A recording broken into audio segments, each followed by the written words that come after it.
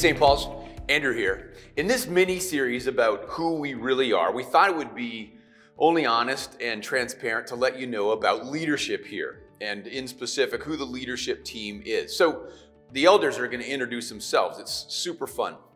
In our church, the leaders are called elders. That's it's really unsexy, but that's what presbyter means in Greek is is rule by elder. And when the elders all get together, they're called the session.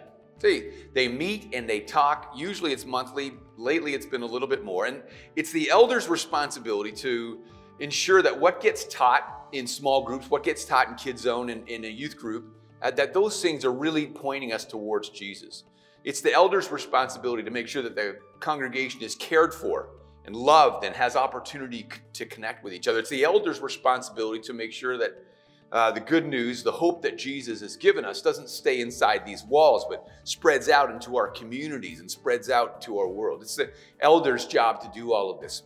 They also have this assignment of uh, getting away and thinking and praying and making sure that we as a congregation stay in line with what we call we feel called by Jesus to do. They do that, and then they also are the ones who are responsible to pull together the financial budget so that all of our, our funds and our money are pointed in that direction. Elders in this congregation uh, are voted in every two years, and this, Lord willing, is a year where we'll add elders to our number. And when you're assigned, when you're ordained as an elder, you serve typically for, for six years. I'm actually also an elder, but I'm a different kind than all the other ones. Every other elder at St. Paul's right now is a ruling elder, and I'm a teaching elder. I'm actually, my official title is the Minister of Word and Sacraments.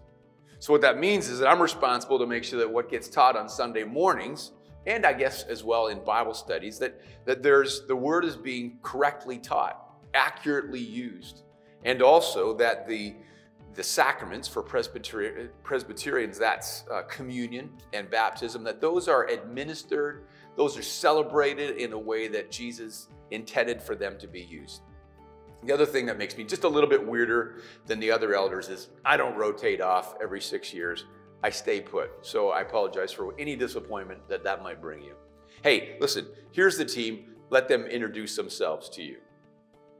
Hello, St. Paul's family. My name is Duncan Hunter.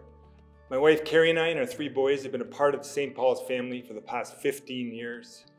Um, we are grateful for this community. We're grateful for all of you, that there are others tracking with us, challenging us and encouraging us as we try to figure out what it means to live a life fully surrendered to Jesus. For the past six years, we have been serving on session as ruling elders. Carrie is clerk of session, and currently I am serving as a liaison to the care and compassion teams here at St. Paul's. Carrie isn't here with me today, uh, but as we enter into 2021, we are both feeling called to carve out more time and space in our lives so that we can learn to walk daily in a more intimate way with Jesus. And we are glad to be in this with all of you together. Thanks. Hi, I'm Phil Carmichael. My wife Sue and I have two beautiful daughters, and they're married to two great husbands. We also have two wonderful grandsons. Now, this has been a difficult season for me as my wife Sue passed away in September after a long battle with cancer. Now, being part of uh, St. Paul's has been a huge blessing from God for both me and my family. I'm now in my third year as an elder at St. Paul's, and last year I volunteered to be uh, the member, the presbytery rep member for St. Paul's, which means I get to go with Andrew once a month uh, down to one of the churches uh, that's holding the meetings. Now, last year, I actually only went to one of those meetings as uh, the pandemic hit. So just like everything else, we are now meeting via Zoom. Now, I'm also part of the Congregational Renewal Committee at the presbytery level, which basically means that we meet with churches that are struggling and we give them some guidance uh, to help them through this, and especially during this pandemic time. I, I believe we have a great team of elders and leaders at St. Paul's, and I'm really blessed and honored to be part of that team. Thank you, St. Paul's, for trusting in me. Good to have you join us.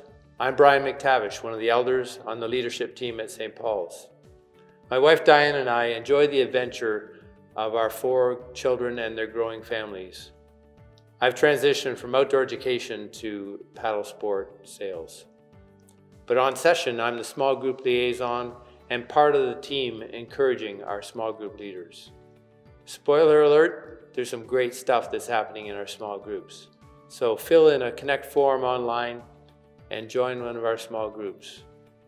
Zoom for now and share in honest questions, discussions, struggles, and celebrations.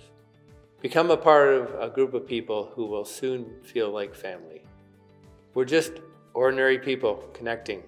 But as Andrew said, God comes alongside all of us and makes the difference that brings Him praise, glory, and honor in the places where we are. It's all Jesus. Hey, St. Paul's. I'm Mark Emery. My wife Jennifer and I met in these halls many years ago. Today we live in Uxbridge with our son Nolan. I head the landscape division for a small construction company in Woodville. I've been part of St. Paul's session since 2014. I currently represent the session on the Finance Committee. The Finance Committee provides the first level of discernment into the financial strategies and budget here at St. Paul's. It's my prayer that you will join us in becoming fully alive in Jesus. Hi, friends. Uh, for those that don't know me, my name is Doug Sansom, and um, I've been attending this church for over 20 years with my wife Bonnie. I've been an elder here for, uh, think, almost going on two years now.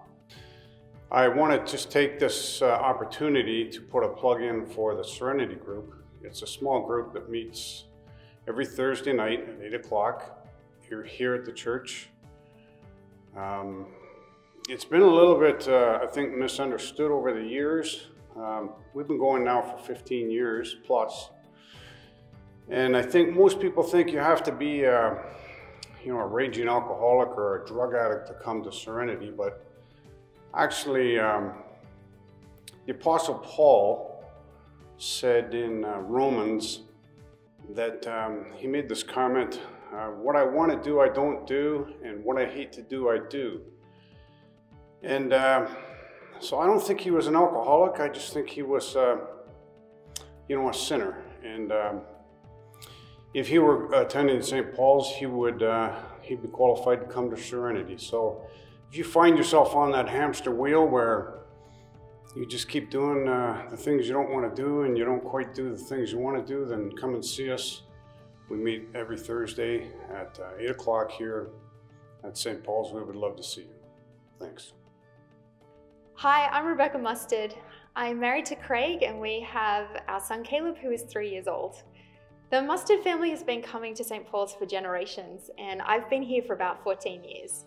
My first day, first Sunday here was pretty memorable. It was the day that we walked as a church family from the old church up to this new building.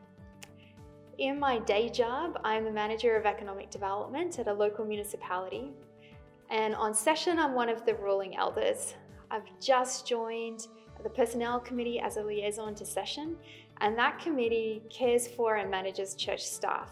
And One of my roles is bringing recommendations from that committee to session for decision making.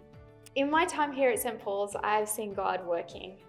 And I'm praying along with you that we will continue to be a church that is prayerful, all in, authentic, and Christ centered.